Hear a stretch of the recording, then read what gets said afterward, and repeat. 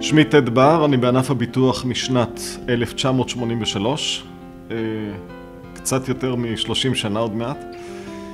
התחלתי בענף הביטוח במקרה, זאת אומרת, אני הייתי, ב, ב, עבדתי במשרד ארכיטקטים, בתור יועץ לפרויקטים צבאיים במשרד ארכיטקטים. אה, בעל המשרד היה חייל שלי בצבא, הוא אמר, יש לי אה, משרה מאוד מעניינת בשבילך, לתכנן שטחי אש לצבאות זרים.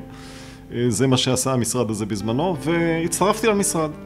ואז הגיע חבר נוסף ואמר אתה חייב להיות סוכן ביטוח, חייב להיות סוכן ביטוח. וכמו סוכנ... כמו כל סוכני הביטוח הבחור ידע לשכנע.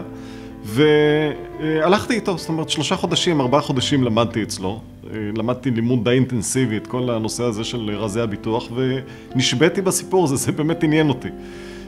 ולאחר מכן למדתי בצורה קצת יותר מתודולוגית, למדתי גם, עשיתי תואר ראשון ותואר שני במנהל עסקים באוניברסיטת תל אביב ובמקביל אה, למדתי גם ביטוח, את כל הנושא של ביטוחים פנסיוניים וביטוחי קצבאות וביטוחי חיים.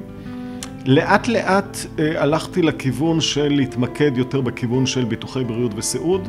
בשנת 1998 אני זכיתי במכרז גדול של, של ביטוחי סיעוד דרך צוות, חברי צוות ברמת שרון שהלכו להקים דיור מוגן והם אמרו דבר אחד מאוד פשוט, אף אחד לא נכנס לבית דיור מוגן הזה אם אין לו פוליסה סיעודית אה, ויצאו במכרז, זכיתי במכרז הזה.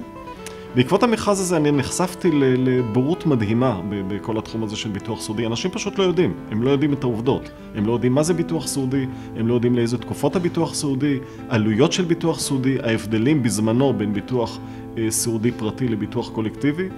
ואנחנו אה, ניסינו לעשות שם סדר, ניסינו לעשות שם סדר, ובעקבות כל החשיפה הזאת, אני החלטתי לכתוב ספר, ספר שמתמצת את כל הידע הנוכחי, זה, זה, הספר פורסם ב-2009 אה, בנושא של אה, ביטוח סעודי.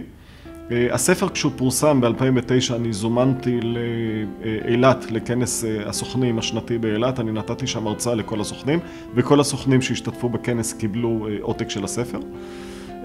ומאז אני מוזמן להרצאות, לכנסים, לייעוצים בכל הנושא של ביטוח סעודי.